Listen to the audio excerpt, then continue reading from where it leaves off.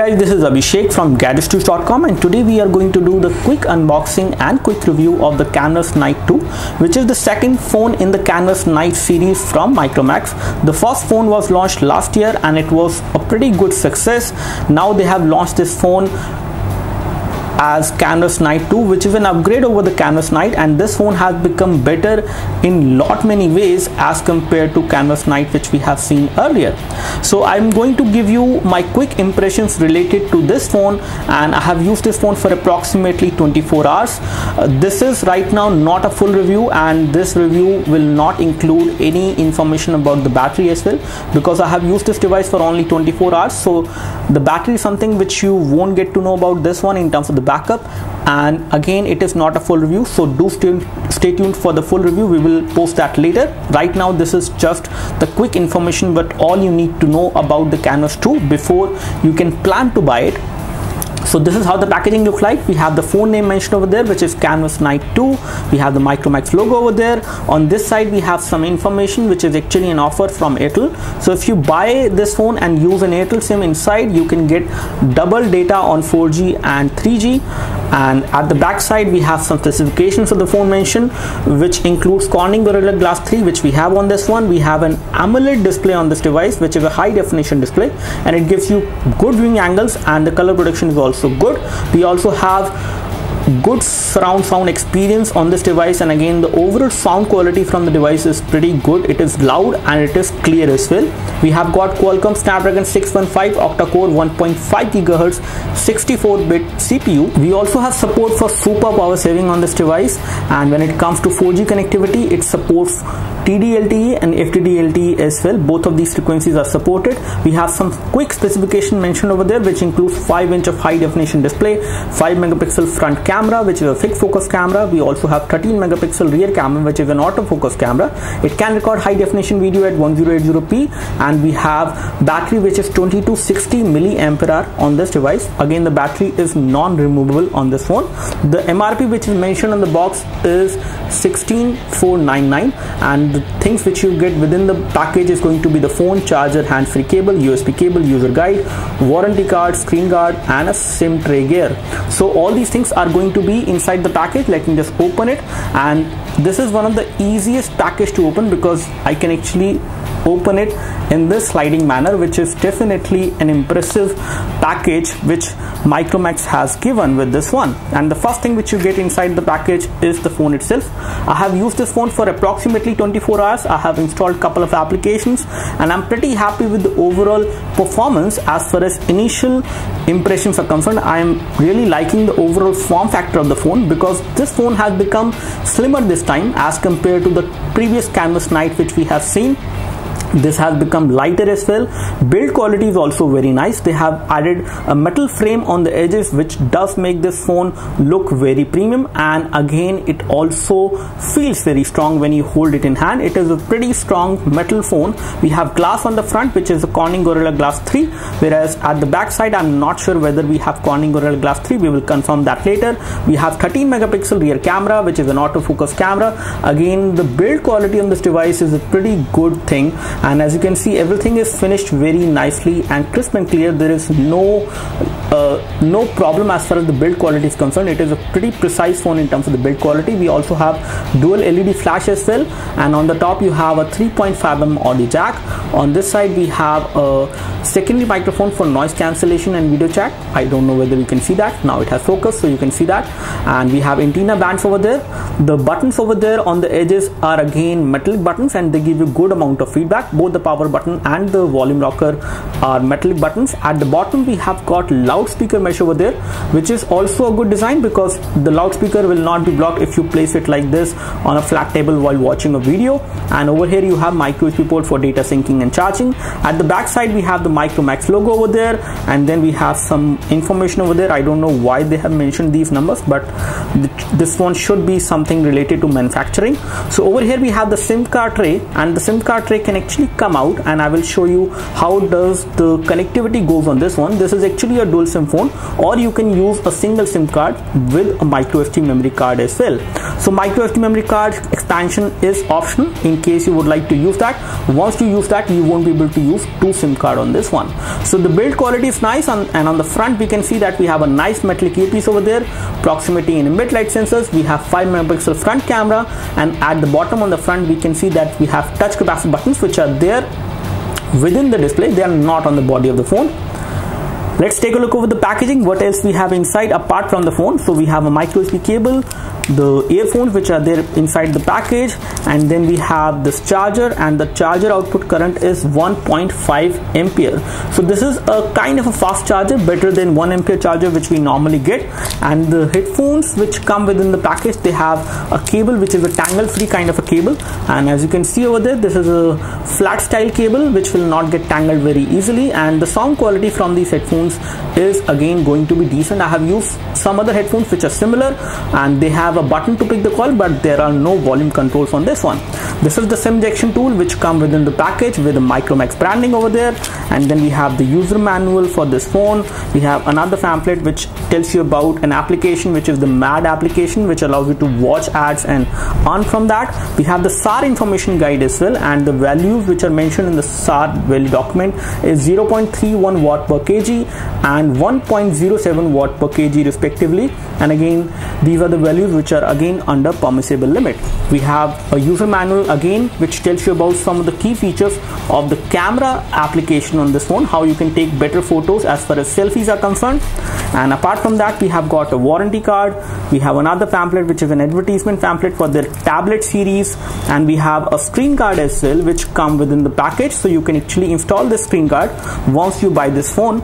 And this is how you can protect the display so let me just keep the packaging aside for a while and we will take a look over the Canvas Knight 2 which is actually a very good phone in terms of design. And this time had they have made sure that this phone looks as premium as any other flagship phone actually look as far as sim tray is concerned once you make it come out you can see that we have two slots. This is the first slot for the sim card. This is going to take a micro sim. And the second slot can either take a nano sim in the vertical orientation or you can insert a micro SD memory card in this orientation in the horizontal orientation. And you can actually use single sim card with a micro SD card or you can use two sim cards as well. And the second sim card has to be a nano sim in that case. Let's take a look over the software UI of the phone. As you can see it is running on Android Lollipop and the software UI is very responsive and smooth. There is no lag which I can notice. And after using it for 24 hours I'm pretty happy with the device. Again this is an initial kind of usage. I'm yet to say more once I use this device in detail later in the upcoming weeks. We have Android version which is 5.0.2 and apart from this let's take a look over the storage scenario. And on the storage front we have got 16 GB of internal storage on this device. And out of 16 GB approximately 12.20 GB is available and the current available storage after the application which are coming pre-installed it is 10.97 GB so approximately 11 GB of storage you will get on this device. I have installed couple of applications as well but again this much of storage is still free after installing those applications let me just take a look over the application scenario and we will find out the current status of the RAM. And we have 2 GB of RAM on this device which is definitely a good thing. And this 2 GB of RAM is also good enough in terms of the free RAM available to the user. We have 1.2 GB of RAM available to the user which is making this device responsive and smooth in terms of the overall UI transition. And I do not notice any kind of major UI lag or anything uh, which could be a problem for any consumer out there. We have tethering options as well supported so you can create a portable Wi-Fi hotspot as well on this one. Let's take a look over the phone dialer and we will find out the phone dialer how does it look like. Again it is kind of a stock Android phone dialer you do not have the option of making a video call but you can easily dial the number in case you would like to dial it without any kind of flashy uh, phone dialer which we normally see on some of the other phones. Let's take a look over the messaging application and here we have it.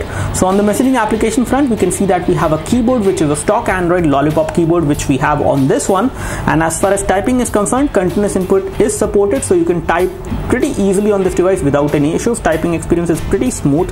You do get a pop-up whenever you tap on any of these keys so that you can get to know which key you have pressed.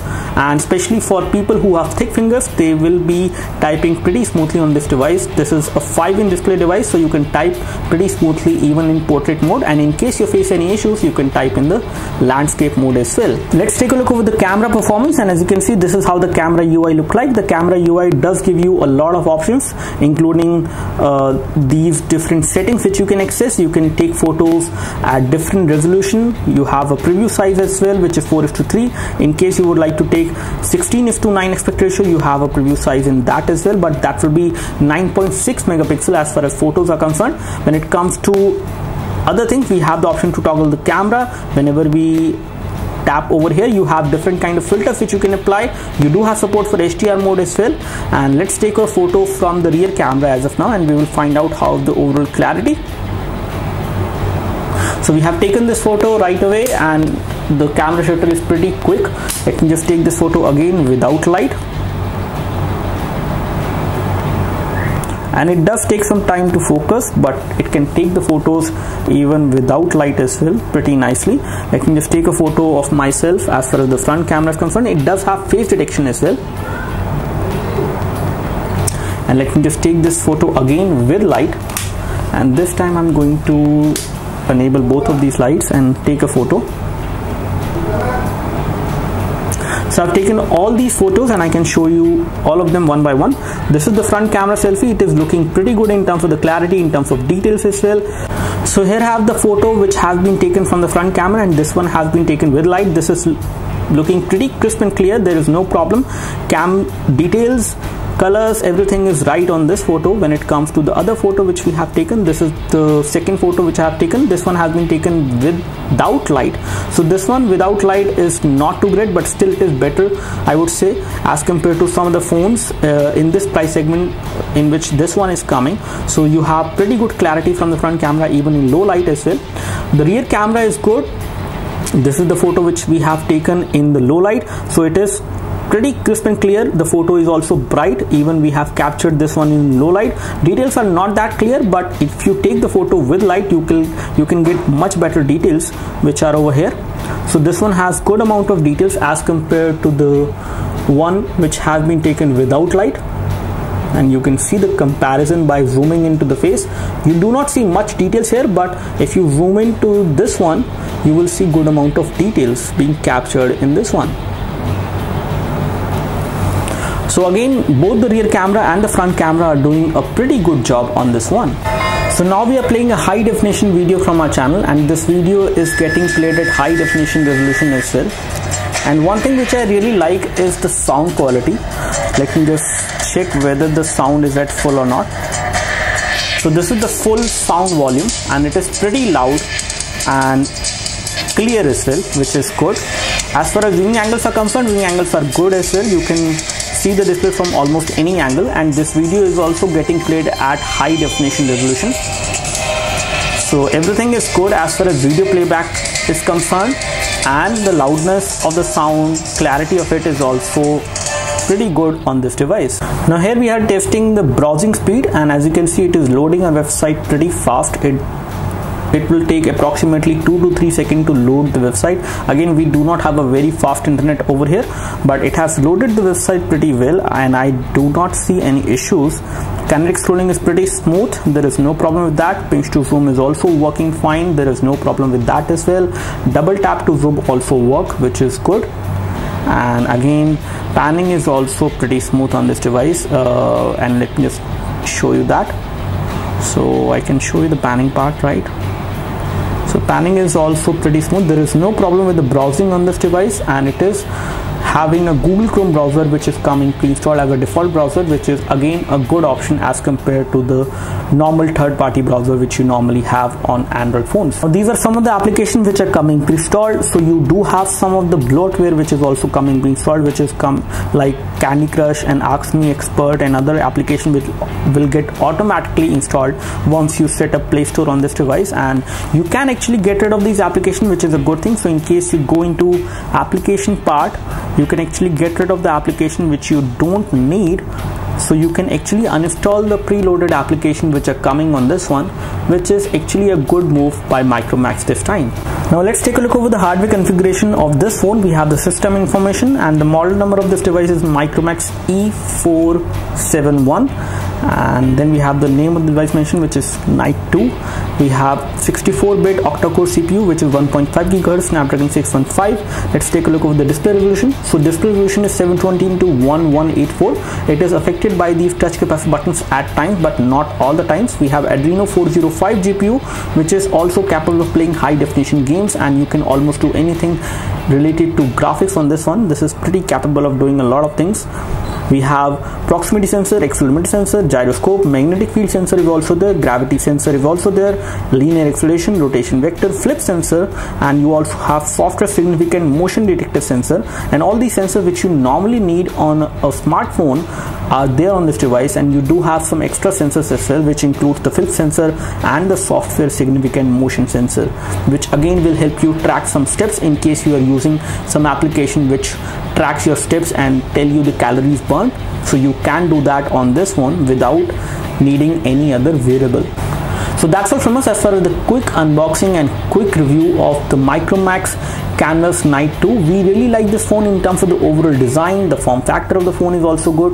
Weight of the phone is also pretty light considering the canvas knight which we have seen earlier. So this one has become much lighter and it is also pretty solid with the kind of build quality. And the looks are very premium. I would say it is better in terms of the looks as compared to the earlier phone which we have seen and many other phone in this price segment. So this is all we have as far as the quick hands-on and unboxing and quick review of this phone. Do let us know if you have any specific question for this device. We would love to help you. You can like this video. This video help you by clicking the like button below. You can subscribe to our youtube video channel for more videos like this by clicking the subscribe button below. Thanks for watching this video. This is Abhishek signing off. Thank you.